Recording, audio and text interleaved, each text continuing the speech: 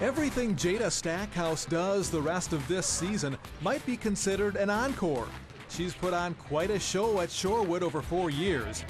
Jada earned Woodland East Player of the Year honors each of the past two seasons while helping the Greyhounds win conference titles both those years. Then, this past week, Jada reached 1,000 points for her career.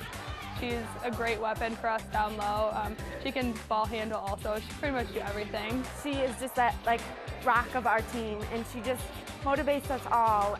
Coach Jeff Eimers has seen Jada improve the various aspects of her game throughout high school. Quite honestly, she's a coach's nightmare as far as matching up because she can take most girls inside and uh, but but she can she can take you out and shoot a three.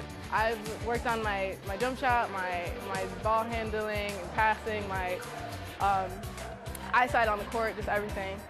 Stackhouse is the third girl at Shorewood to reach 1,000 points, joining former assistant coach Amanda Schick and the mother of current teammate Ann Leo. If anyone's going to beat my mom, I'd rather have it be one of my friends than some random person in a few years. Jada scores big time points in both the gym and the classroom. She holds a near perfect grade point average.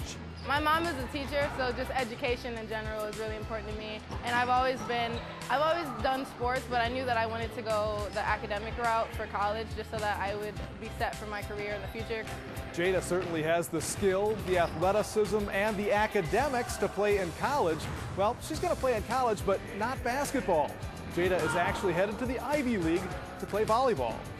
The conference co-player of the year in volleyball last fall, Jada will play at Cornell University in Ithaca, New York, where she plans to major in biology.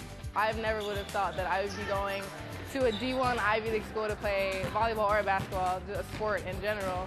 And to be able to say, yes, I'm committed to going to Cornell in New York, is crazy. By the way, Jada says she's a distant cousin of Jerry Stackhouse, the former NBA star who spent a little time with the Bucks. Jada is proud of what Shorewood has accomplished and hopes to finish her career with a third straight conference title. A lot of teachers have, who have been here for a really long time have told us that we have been the best team that Shorewood has ever had, and that's just like, wow, that's extremely exciting to hear. And we just want to keep improving it better and continue to have Shorewood be a really good basketball team in the future. Her coach says Stackhouse is not only the team's top player, but also one that all the girls, freshman through senior, like to be around. She makes sure that everybody else enjoys being on the team and, and you know enjoys being a teammate. Jada is a coach's dream.